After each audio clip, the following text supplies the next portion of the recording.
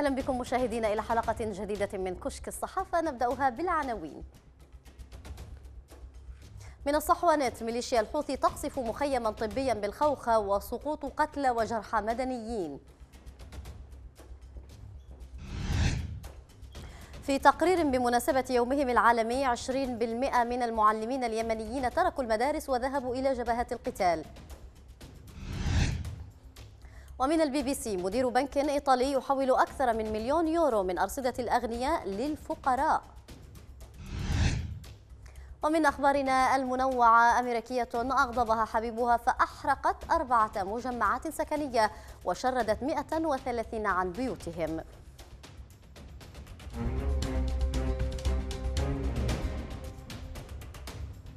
أهلا بكم. والبداية من آخر المآسي التي تتعرض لها الصحافة اليمنية حيث أغتيل أحد الصحفيين اليمنيين في الضالع.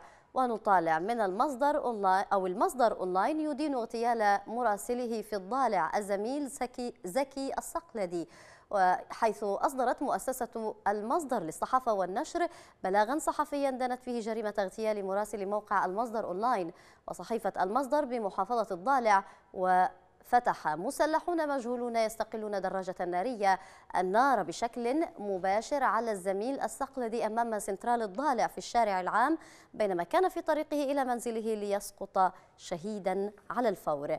وقالت مؤسسة المصدر الذي يعد موقع المصدر أونلاين الصحفية الإلكترونية لها أن جريمة اغتيال الزميل السقلدي يأتي ضمن مسلسل إسكات صوت الحقيقة والتضييق على حرية الصحافة وحرية الرأي والتعبير في بلد يتذيل ترتيب البلدان في حماية الصحفيين وحرية الصحافة.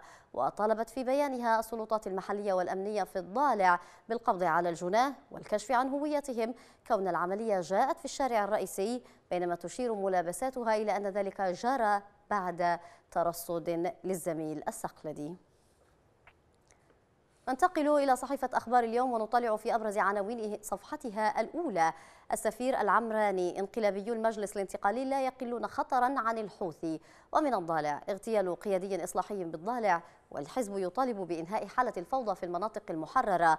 وأيضا عنوان الأمم المتحدة تدعو إلى إنقاذ العملة اليمنية قبل قبل الوصول إلى نقطة اللا عودة وعنوان أخير التحالف يطالب الأمم المتحدة بإدانة جرائم ميليشيا الحوثي بحق الشعب اليمني.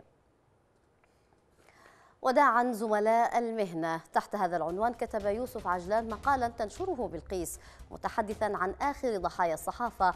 الصحفي زكي السقلدي وقال يوسف جبناء انتزعوا روحا بشوشة لصديقي وزميلي زكي السقلدي بكل دناءة وخسة. لم يعلموا أن الحياة حقيرة لا تستحق كل هذا الإجرام. فيوما ما ربما قريبا أو بعيدا سنرحل لكنهم فقط استعجلوا. رحيلك يا زكي. تربطني علاقة بزميلي زكي منذ أكثر من ثمانية أعوام ومثله ربطتني علاقات مماثلة مع زميلي الشهيد عبد الله القادري. أتذكر في عهد صالح حينما كان يقصف جنود ضبعان منطقة سناح في الضالع. كان زكي يهاتفني يوميا لينقل لي الأخبار التي كنت أنشرها في موقع المصدر أونلاين. وكنا في حديث مستمر خلال السنوات الماضية ومثله عبد الله القادري الذي ارتبط تواصلي به من بعد 2011 حينما كان يراسلنا من مأرب. ها أنا أودع زميلا جديدا ارتبط اسمه وصداقته وتواصلي به عبر عمل الصحفي وبالتحديد مع المصدر أونلاين. بعد أن كنت قد ودعت من كانوا يعملون مراسلين مع الموقع. الآن أصبحوا أربعة. فارقونا بأجسادهم لكن أرواحهم لا زالت ترافقنا. عبد الله قابل ذمار الحوثيون وضعوه درعا بشريا. مبارك العبادي الجوف قتلوه بقذيفة حوثية. عبد الله القادري مأرب بصاروخ حوثي. زكي السقلدي الضالع برصاص مجهولين. ربما يوما ما سأكون مرثيا وسيعزي الجميع بوفاتي. لكن المؤلم أن تموت عبر قاتل مأجور يلتقي حفنة عفنة من الأموال. بمناسبة اليوم العالمي للمعلم والذي صادف الخامس من أكتوبر الجاري ما الذي يمكن قوله عن المعلمين غير تذكر ما يتعرضون له من اعتداءات وعنوان موقع الحرف 28 مقتل أكثر من 1300 معلم منذ بداية الحرب في اليمن حيث كشف مركز الدراسات والإعلام التربوي في اليمن عن توثيقه مقتل أكثر من 1300 معلم خلال الحرب الدائرة في البلاد منذ مارس 2015 وقال المركز أو مركز الدراسات في بيان الله بمناسبة اليوم العالمي للمعلم منذ مارس 2015 قتل أكثر من 1300 معلم وهجر ونزح حوالي 26% من المعلمين داخليا وتعرض قرابة 3600 للاعتقال والإخفاء القسري. وذكر البيان أن 20% من المعلمين تحولوا إلى ممارسة أعمال قتالية فيما لاجأ المئات إلى ممارسة أعمال أخرى بعد أن توقفت مرتبات أكثر من 170 ألف تربوي منذ أكثر من سنتين. واعتبر البيان انتهاك حقوق المعلمين قبل أن يكون انتهاكا صارخا لمنظومة حقوق الإنسان هو انتهاك لحاضر ومستقبل اليمن إذ أنه ينعكس بشكل مباشر وغير مباشر على العملية التعليمية ما يعيق تطبيق قانون التعليم لملايين الأطفال ويحرمهم من مستقبل أفضل. نطالع في موقع الصحوة نت من محافظة الحديدة. ميليشيا الحوثي تقصف مخيما طبيا بالخوخة وسقوط قتلى وجرحى مدنيين. قال الموقع استشهدت امرأة وأصيب مواطنون آخرون عقب قصف شنته ميليشيا الحوثي على مخيم طبي بالحديدة. قالت مصادر محلية أن ميليشيا الحوثي قصفت المخيم الطبي الذي أقامه مركز الملك سلمان في الخوخة ما أسفر عن استشهاد امرأة وإصابة ثلاثة آخرين بجروح خطيرة. يذكرنا ما يحدث الآن في عدن وما حولها بما كان يحدث في صنعاء وما حولها في صيف وخريف 2014 هكذا يستهل السفير اليمني في الأردن علي أحمد العمراني ما قاله المنشور في الموقع بوست. مضيفاً. انقلابيو المجلس الانتقالي لا يقلون خطرا عن الحوثي وقد يزيدون عليه في الخطر إذا ما تخيلنا حجم الفوضى الإضافية التي قد تنجم عن أجندتهم ونواياهم المعلنة. تتذكرون أحداث يناير الماضي في عدن وما أسفر عنها من مآسي لكنها بسيطة قياسا بما قد يكون فوضى عارمة طويلة الأمد. كان الانتقاليون إلى قبل أيام يرددون إنهم مع شرعية الرئيس هادي والمشكلة عندهم هي الحكومة والغلاء والفساد مثل ما قال الحوثيون وهم يطوقون صنعاء. تشابهت الأقوال والأفعال وأساليب الخراب وأسبابه. لكن الانتقاليين قالوا في بيانهم الأخير إنهم فكوا الارتباط بكل ما يمت للشرعية بصلة وإنهم جاهزون للمواجهة الشاملة ووضع اليد على كل شيء. التحالف العربي وحده القادر في هذه اللحظة الاستثنائية الخطيرة في تاريخ اليمن وظروفها على إعادة الأمور إلى نصابها ولجم جنون الانتقالي قبل أن تستفحل الأمور وتتفاقم الأخطار وتتعمق الفوضى المستفحلة أصلا ويتسع الخرق على الراقع. ولنا أن نتخيل الحال في اليمن اليوم لو أن التحالف العربي تدخل بحزم في الوقت المناسب قبل اجتياح صنعاء. ولا ننسى التذكير هنا بما نتوقعه من الأشقاء في جانب الاقتصاد الذي يدمر ما تبقى من حياة اليمنيين وكرامتهم. مع تقديرنا وشكرنا لكل ما يقدمونه. حذر موقع الأصوات العالمية من أزمة مياه حادة في اليمن بسبب الحرب التي تشهدها البلاد منذ أكثر من ثلاثة أعوام. وقال الموقع في تقرير له ترجمه للعربية الموقع بوست لقد أثرت ثلاث سنوات من الحرب بلا شك على مصادر المياه حيث تم استهداف الخزانات وخطوط الأنابيب باستمرار. تتساءل ناشطة حقوقية في العاصمة صنعاء في محادثة مع موقع الأصوات العالمية ما الذي يكون أسوأ من عدم امتلاكك أبسط حقوق الإنسان الأساسية مثل الماء؟ وبحسب الموقع فإن صنعاء من بين أكثر عشرة مدن ندرة في المياه في العالم وهي معرضة لخطر الجفاف في غضون سنوات قليلة حيث يستهلك اليمنيين 95% من الماء أقل من متوسط عدد المقيمين في الولايات المتحدة.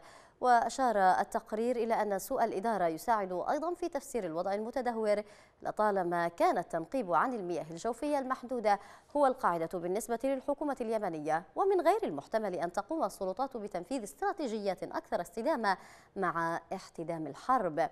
ذكر التقرير أن المياه بالفعل مكلفة للغاية في البلاد حيث يدفع المواطنون العاديون أكثر من 30% من دخلهم لمجرد تزويدهم بالمياه إلى منازلهم أي أنه أعلى معدل في العالم. ومع تعمق الأزمة يقول موقع الأصوات العالمية لقد قام كل من الحوثي والقوات المدعومة من السعودية بإعاقة توصيل المساعدات الإنسانية التي تتكون من الغذاء والماء مما ترك العديد من اليمنيين دون خيار سوى تخزين أكبر قدر ممكن من المياه وفي معظم الأحيان في ظروف غير صحية. نزعات شعبوية يصنعها إعلام مختلف. تحت هذا العنوان كتب أستاذ في علم الاجتماع بجامعة الكويت محمد الرميحي مقاله المنشور في صحيفة الشرق الأوسط. لم يعد السياسي يحتاج إلى كاتب خطب أو صحفي قدير بجانبه أو حتى بالدعوة إلى مؤتمر صحفي. كل ذلك أصبح أو سوف يصبح قريبا شيئا من الماضي. يكفي أن يكون له اتصال على الإنترنت وجهاز ذكي صغير في يده يواصله إلى العالم وليس جمهوره فقط. في الغالب فإن نشرات الأخبار في دول العالم تهتم بالقضايا المطروحة على مجتمعاتها ونادرا ما تعطي قضايا أخرى إلا فيما ندر أولوية في صدر نشرات الأخبار إلا أن الملاحظ أن كل نشرات الأخبار في معظم ثقافات ودول العالم في الآونة الأخيرة تشترك في قضية واحدة هي ما يطلق عليها إدمان التكنولوجيا الحديثة وفعلها السلبي فما فعله الإنترنت في ربع القرن الأخير في سلوك الإنسان لم يفعله أي اختراع إنساني سابق. قد يتجاهل البعض أو يخفف من تأثير وسائل الاتصال بأشكالها المختلفة على تشكيل رؤيتنا وقيمنا ومواقفنا من الحياة. وقد تسارع ذلك التأثير منذ زمن الإعلام المطبوع إلى زمن الإعلام الإلكتروني من الصحافة إلى الإذاعة إلى التقنية. في الصحافة استجابة الجمهور لا تتسم بالتوافق الزمني لأن الكل يقرأ الجريدة في زمن آخر وفي الإذاعة تقارب الزمن. أما الاتصال الإلكتروني فقد تطابق الزمن لدى المتلقي. آخر الكلام كم من المعلومات المسمومة التي تتدفق على العقل العربي. لم أسمع حتى الآن أن موقعا يسمى الناطق الرسمي يتجاوب معها بكفاءة وسرعة. عادة يأتي النفي بعد أن يكون الآخر قد استطاع زرع الشكوك. إلى الأخبار المنوعة حيث نطالع من البي بي سي مدير بنك إيطالي يحول أكثر من مليون يورو من أرصدة الأغنياء للفقراء. قال موقع البي بي سي نجا مدير بنك إيطالي سرق من الأغنياء لإعطاء الفقراء من السجن بأعجوبة. وكان جيلبرتو باسكيرا مدير بنك في بلدة فورني دي سوبرا الجبلية الصغيرة حيث سرق نحو مليون يورو على مدى سبع سنوات ونقل باسكيرا مبالغ مالية صغيرة من الحسابات المصرفية للعملاء الأثرياء إلى العملاء الذين لا يملكون أرصدة كافية تمكنهم من الحصول على قروض. ووفقا للبي بي سي فإن الرجل لم يحصل على أي أموال لنفسه ونجا من السجن بعدما قدم للسلطات إقرارا بالذنب. وقال فاسكيرا وفقا لصحيفة إيطالية لطالما اعتقدت أنه بالإضافة إلى حماية المدخرين فإن مهمتنا هي مساعدة المحتاجين. وأصدرت المحكمة حكما عليه بالسجن لمدة عامين بسبب جرائمه. ونظرا لأن هذه هي المخالفة الأولى له ولأن العقوبة كانت قصيرة نسبيا فلن يسجن باسكيرا بموجب القانون الإيطالي. لكن القصة لم تنتهي بشكل جيد للرجل الذي وصفته بعض الصحف الإيطالية بأنه روبن هود العصر الحالي. وقال محاميه للبي بي سي أن موكله فقد منزله ووظيفته. وأضاف لقد أراد مساعدة الناس الذين لا يستطيعون الحصول على قروض بالطريقة العادية. يبدو أنه ليس فقط ومن الحب ما قتل بل أيضا ما أحرق وشرد. ففي خبر نشرته صحيفة القدس العربي أقدمت امرأة أمريكية على إحراق أربعة مجمعات سكنية وتشريد 130 عن بيوتهم لأنها انزعجت من صديقها السابق. قالت الصحيفة أن امرأة من ولاية ميرلاند أضرمت النيران في أربعة مجمعات سكانية بسبب انزعاجها. من صديقها السابق ما أسفر عن تشرد 130 عن بيوتهم وخسائر مادية وصلت إلى 2 مليون و200 ألف دولار. واعتقلت الشرطة ناتشا آه، جوينر ذو, الثلاث ذو 32 عاما وقال محققون أنها بدأت الحريقة في مجمع سكني في منطقة نيو كارلتون ما أسفر عن تدمير أربعة مباني. واستجاب رجال الإطفاء في مقاطعة برنس جورج للرد على مكالمات نجدة تطلب المساعدة من ثلاث مديريات إطفاء. واستغرق الأمر أكثر من ساعتين للسيطرة على ألسنة اللهب.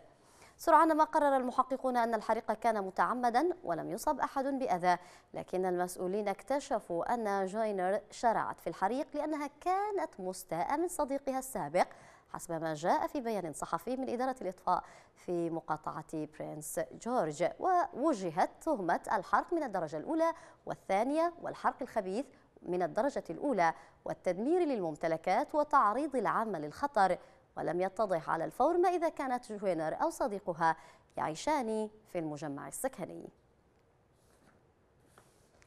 هوان المجتمعات تحت هذا العنوان كتب إبراهيم جابر إبراهيم في صحيفة الغد. هل ما زال بعض النساء يتحدث عن المساواة؟ خفت الصوت قليلا فوضع الرجل العربي لم يعد مبهجا ومغريا إلى ذلك الحد الذي يجعل المرأة تحسده عليه وتطالب بمساواتها به. حتى أن البعض يقول مستظرفا أنه آن للرجل أن يطالب بالمساواة مع المرأة فهي قد انتزعت كامل ما كان يعد امتيازات للرجل دون أن ينتقص شيء من امتيازاته الأصلية كامرأة مدللة. لكن ما تفتقده المرأة اليوم هو ذاته ما يفتقده الرجل وأقصد إنسانيتهما المنقوصة. لم يعد ثمة سلطة لأحد أو حتى سلطة قيمية ما على أحد الرجل مهان اقتصاديا. ومهمش وغير قادر على وظائفه الأساسية كمعيل. ما يجعله بالتالي متساويا مع شريكته دون أن تضطر لإحداث جلبة أو ذلك الزعيق القديم عن المساواة. كلاهما المرأة والرجل ضحية امتهان متعسف مجتمعي وكلاهما منتقص الحقوق ومسلوب الرفاهية. من هو المجتمع؟ أقصد السلطة التي أودت بالرجل والمرأة. كليهما إلى هذا الحد. وجعلتهما ضحية بذات القدر.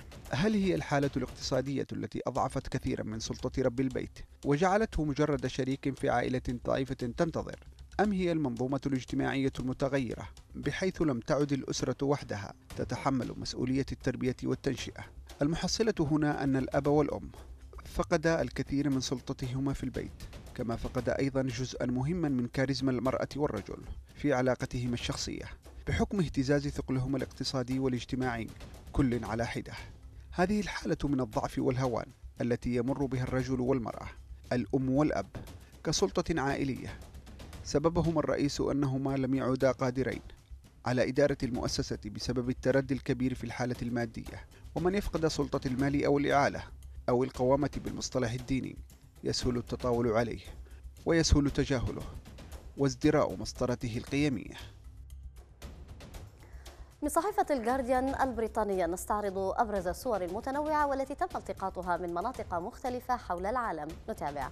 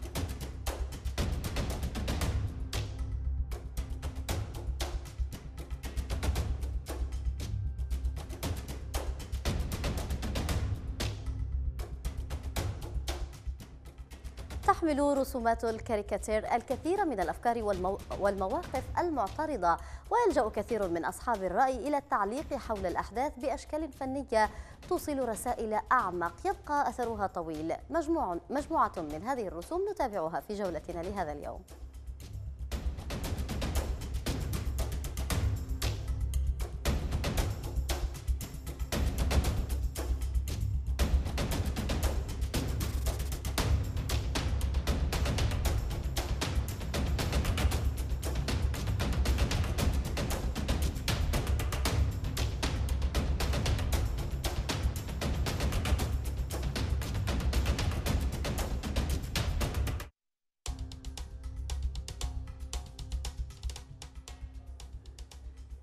بهذه المجموعة من الصور والرسوم نكون قد وصلنا لختام حلقتنا لهذا اليوم من كشك الصحافة.